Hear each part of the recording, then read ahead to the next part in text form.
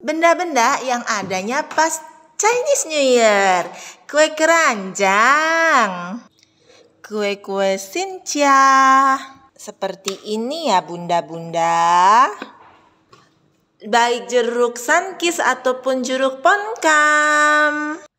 Camilan-camilan bunda.